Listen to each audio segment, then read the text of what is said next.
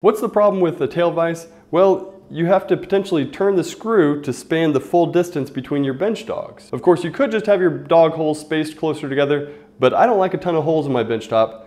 Mine are about six inches apart, and I wouldn't want to go any closer than that personally. I'm actually pretty lucky in this regard because with my inset vise, there's two locations for the dog. So I never have to span this full distance. At most, I have to span only half of that distance. But what if I could cut that distance in half again? Then no matter what board I put on here, a couple turns of the screw and it's gonna be locked in place. It'd be a huge time saver and that's exactly what these new bench dogs do. They're super easy to make, check this out. This scrap of walnut's pretty narrow, it's gonna work perfect.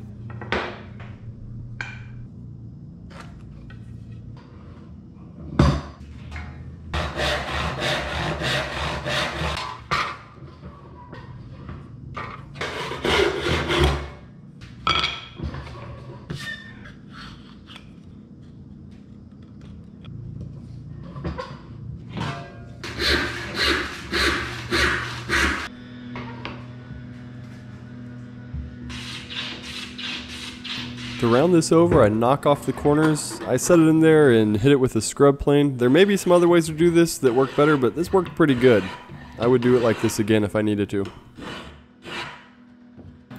Five passes with a scrub plane on each corner and it turns into an octagon. And I actually just left mine as an octagon. I did not round it over to make it uh, circular.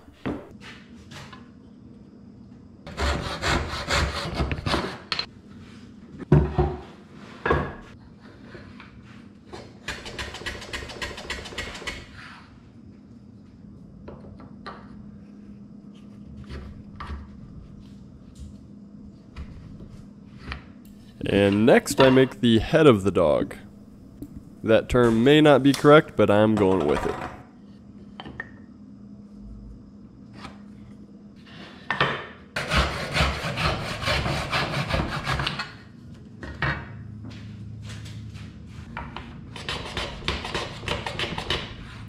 This one has a corner that tore out during the crosscut, so I'm going to thin this one out. This, I'm making two. One's going to be a little thicker, one's going to be a little thinner. This one's going to be the thinner one.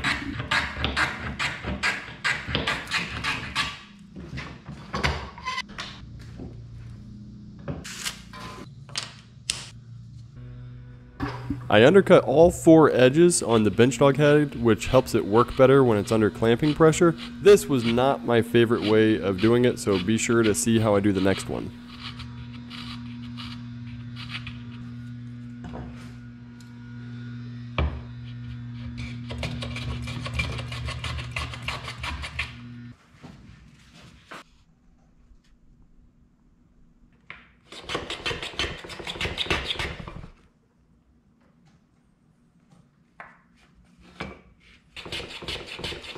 This worked much better, and you can see compared to the other one, I went a little bit overboard on that thinner one. It's a little bit too angled, but that's okay. It's going to work just fine.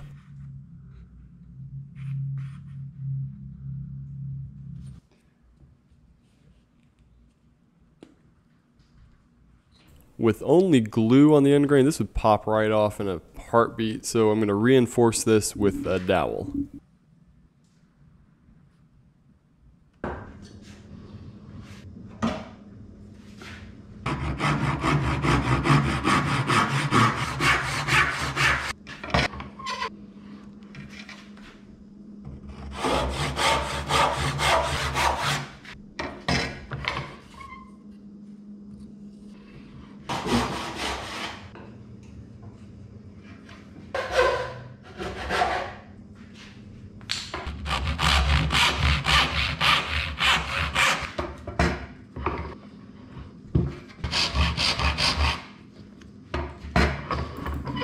I'm a big fan of dowel plates for things like this. They don't make perfect dowels, but they do make quick dowels.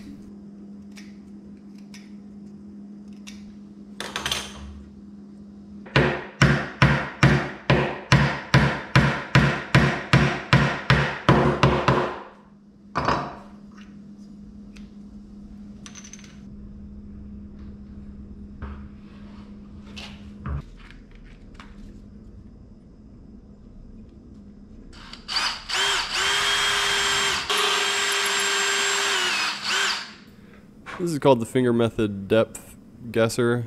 Save your blue tape.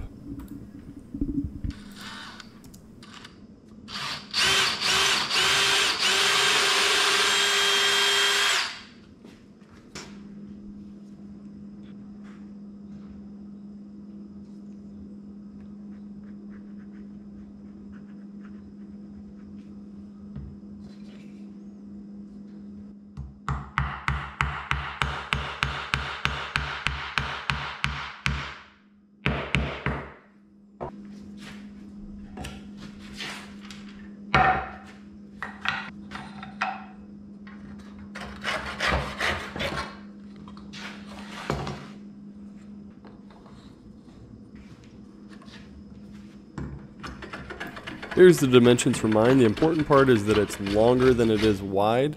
I don't know if I technically did all the math to fully optimize this or not, but it seems to work pretty well and I kind of have a life rule of not letting thinking too hard about something get in the way of actually getting things done. And now I've got three points of adjustment. I can change the dog hole location on the bench, the dog location on the vise, or just quickly rotate the dog itself.